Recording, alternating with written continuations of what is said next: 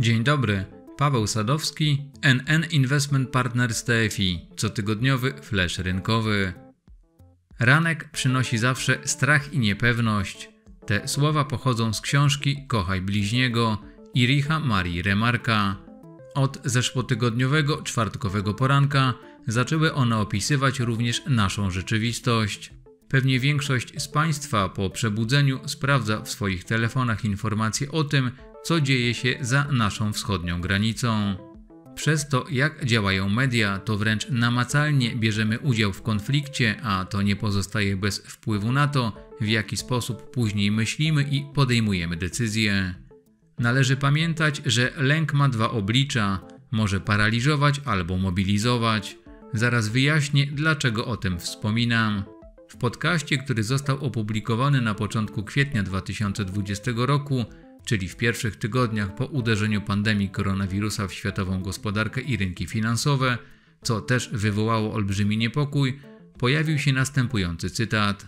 Strach rodzi urojenia, które bywają groźniejsze niż rzeczywistość, a rzeczywistość przestaje być taka groźna, gdy ją się analizuje i jest się przygotowanym na wszelkie konsekwencje. Te słowa, które ponownie stały się aktualne, wypowiedział kiedyś pierwszy premier Indii, Jawaharlal Nehru. Niezależnie od tego, że obawy o przyszłość mogą aktywować nasze atawistyczne instynkty, to powinniśmy podjąć próbę mobilizacji naszego umysłu do przeprowadzenia analizy otaczającego nas środowiska. Za chwilę spróbuję dokonać skróconej na potrzeby dzisiejszego nagrania interpretacji wpływu sytuacji geopolitycznej na wybrane klasy aktywów i produkty. W zeszłotygodniowym komentarzu podsumowałem obecne środowisko inwestycyjne następującym stwierdzeniem, że niestabilność stała się nową rynkową normalnością, która może generować okazje inwestycyjne. Wspominałem również o tym, że zmienność instrumentów finansowych oraz powody takiego zachowania powinny być śledzone przez inwestorów, zwłaszcza teraz, czyli w świecie, w którym inflacja coraz zachładniej zjada nasze nadwyżki finansowe. Dodatkowo należy założyć, że jej apetyt może w najbliższym czasie jeszcze wzrosnąć. Jednym z najpoważniejszych gospodarczych skutków wojny na Ukrainie dla Polski będzie zapewne wzrost cen żywności i surowców. Nadmieniłem także, że na poszukiwanie okazji inwestycyjnych powinniśmy udawać się uzbrojeni w wiedzę i informacje oraz ze świadomością horyzontu inwestycyjnego i potrzeby dywersyfikacji.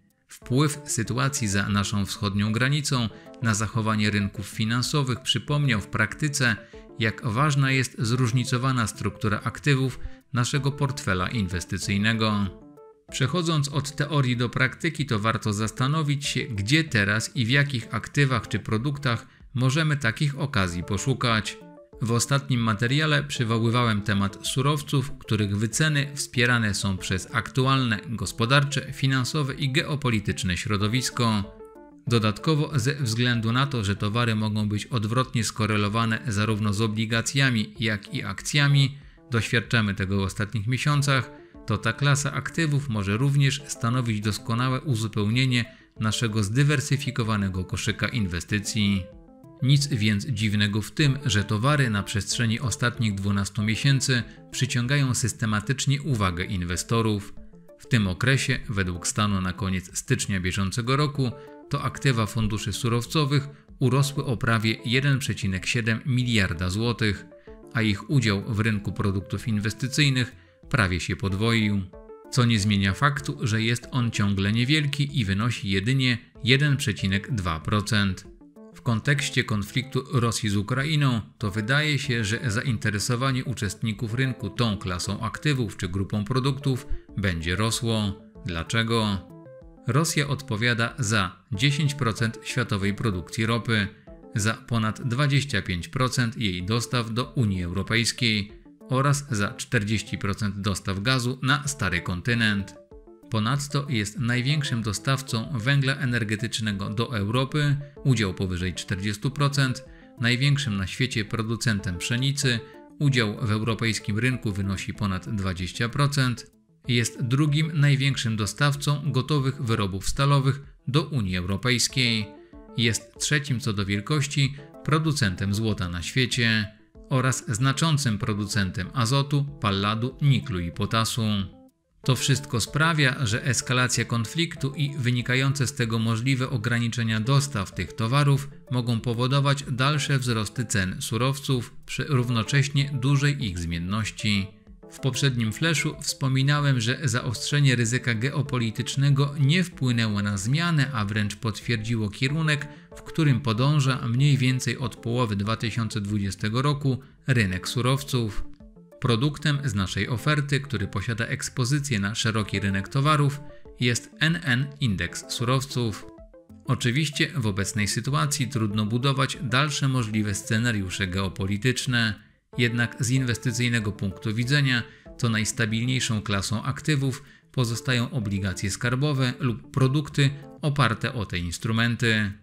Natomiast w odniesieniu do ryzykownych klas aktywów zyskiwać powinny te, których może brakować na rynku, takich jak wspomniane przed chwilą surowce. Zmieniając teraz segment rynku na obligacje skarbowe, to w takiej sytuacji jak ta, kapitał płynie zazwyczaj w kierunku aktywów i produktów uważanych za bezpieczne. Do tej grupy zaliczane są tradycyjnie obligacje skarbowe, w tym inwestujące w nie fundusze dłużne. Dlaczego? Papiery skarbowe są bowiem uznawane za jedne z najmniej ryzykownych instrumentów finansowych i to z dwóch powodów: gwarancji spłaty kapitału przez państwo oraz niskiej zmienności cen. Fundusze obligacji nie są jednak jednorodną grupą i różnią się między sobą.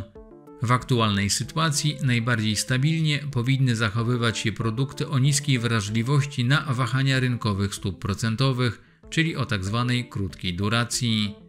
Wyłączając fundusze niepubliczne, to obecnie największym segmentem rynku pod względem wartości aktywów netto są właśnie fundusze dłużne. Udział na poziomie 33,4%. Przy tej okazji warto dodać, że w styczniu 2021 roku ta partycypacja wynosiła aż 40,5% i przez ten czas aktywa tych produktów zmniejszyły się o prawie 16,5 miliarda złotych. Powód spadku jest od kilku miesięcy ten sam.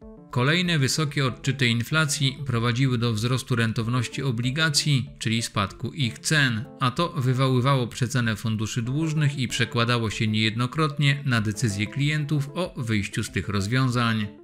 Zatrzymując się na chwilę przy tym temacie, to warto zastanowić się, po pierwsze, czy ta inwestorska awersja do tej kategorii produktów nie zaszła zbyt daleko. Po drugie, oprócz tego, że w obecnym otoczeniu rozwiązania dłużne skarbowe krótkoterminowe powinny pozostać najstabilniejszą grupą funduszy, to czy nie powinniśmy postrzegać jej przez pryzmat szans, a nie zagrożeń? Patrząc na wykres 12-miesięcznego salda wpłat i umorzeń do produktów dłużnych, na który zostały nałożone średnie rentowności obligacji, to możemy dojść do wniosku, że mamy do czynienia ze sprzecznością. Co mam na myśli? Rekordowe napływy do wspomnianych produktów miały miejsce w pierwszym kwartale 2021 roku. W tamtym czasie rentowność stałokuponowych obligacji dziesięcioletnich przekraczała nieznacznie 1%, a 6-miesięczna stopa procentowa WIBOR, którą uwzględnia się przy obliczaniu kuponu obligacji zmiennokuponowych WZ, była na poziomie 0,25%. Natomiast w styczniu 2022 roku, gdy 12-miesięczne saldo wpłat i umorzeń do funduszy dłużnych było rekordowo ujemne, to rentowność wspomnianych obligacji stałokuponowych oscylowała w okolicach 4%. Były to najwyższe rejony od 8 lat, a 6-miesięczny WIBOR zbliżał się do poziomu 3,5%. Dlaczego zwracam na to uwagę? Gdyż im wyższa rentowność, tym wyższy możliwy zysk z obligacji. Oczywiście sam proces wzrostu rentowności, którego doświadczyliśmy w ostatnich miesiącach, był bolesny dla posiadaczy papierów skarbowych, ale wydaje się, iż to zjawisko jest już w dużej mierze za nami. Choć aktualnie rynek oczekuje, że Rada Polityki Pieniężnej nadal będzie podnosiła stopy procentowe z obecnego poziomu 2,75%, to należy jednak podkreślić, że oczekiwania dalszego zacieśnienia polityki monetarnej są powszechne wśród inwestorów. Może to oznaczać, że przyszłe decyzje władz monetarnych nie powinny już znacząco wpływać na wzrost rentowności. Z analizy wyników funduszy dłużnych z ostatniej dekady wynika, że to właśnie poziom rentowności miał większy wpływ na osiąganą przez fundusze dłużne stopę zwrotu niż same zmiany rynkowe. Wyjątkiem były tutaj minione 12 miesięcy, co wynikało głównie z bardzo niskich rentowności na początku 2021 roku.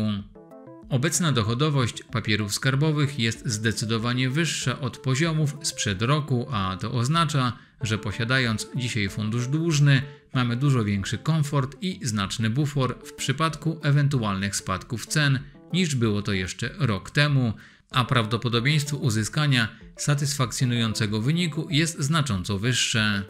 Nasze fundusze dłużne różnią się od siebie, ale obecny poziom rentowności pozytywnie wpływa na każdy z nich. Dla przykładu, rentowność portfela produktu po odliczeniu opłat za zarządzanie, który w ramach palety naszych rozwiązań dłużnych jest funduszem o najniższym poziomie ryzyka, a więc i o najniższej potencjalnej stopie zwrotu, przekracza 3%. Mowa o NN konserwatywny. Zakładając więc brak dalszej przeceny na obligacjach w Polsce, można oczekiwać pozytywnej stopy zwrotu z takiej inwestycji w kolejnych kwartałach. Niejako po drugiej stronie skali, pod względem poziomu ryzyka i potencjalnego zysku, znajduje się NN obligacji.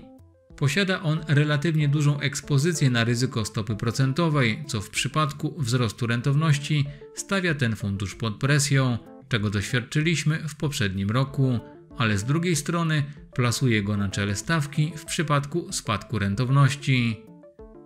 To tyle na dzisiaj i do usłyszenia.